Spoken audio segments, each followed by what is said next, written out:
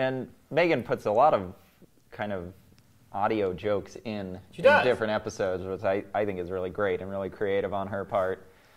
But this, I want, I want to say that this this moment here, um, this scene represents for me as a director.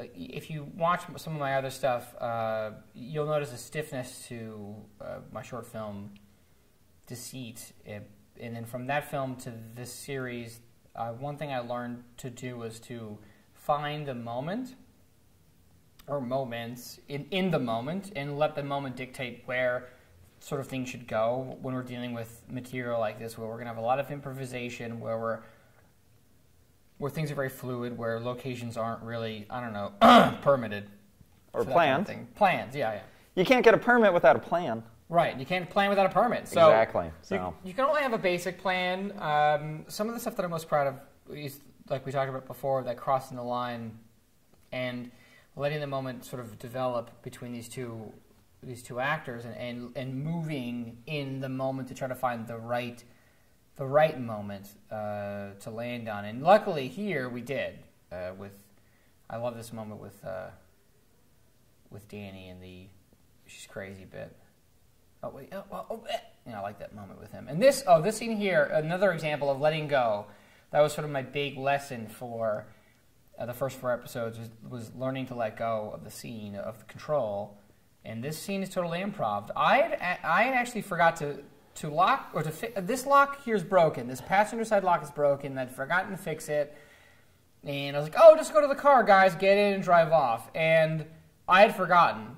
And danny in his brilliance just improvises as though it's part of the scene, and I keep rolling and they keep going until I say stop. And that is the beauty of training: is they are going to roll with it until they run out of ideas or someone says stop.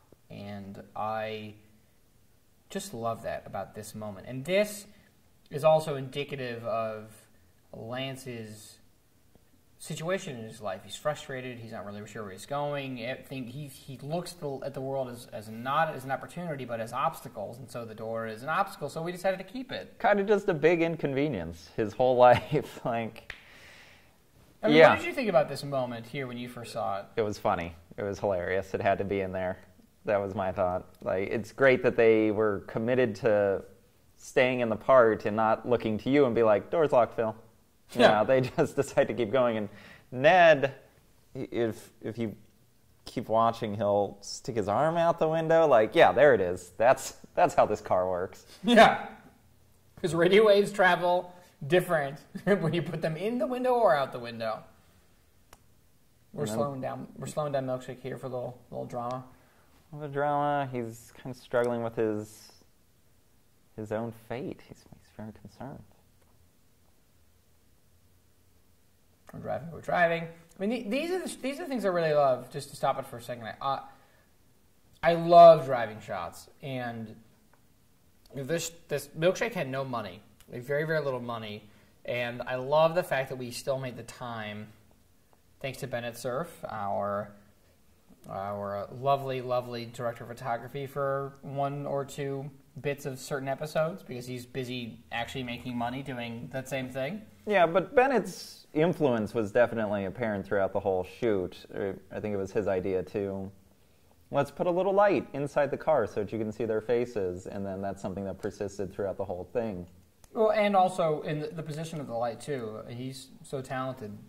You know what little advice he gave us, Was invaluable. and it made, he made everything better. Um, and this, so this is something. This, these driving shots, I just I really thoroughly love. They they make the whole episode feel unique to a lot of other stuff out there.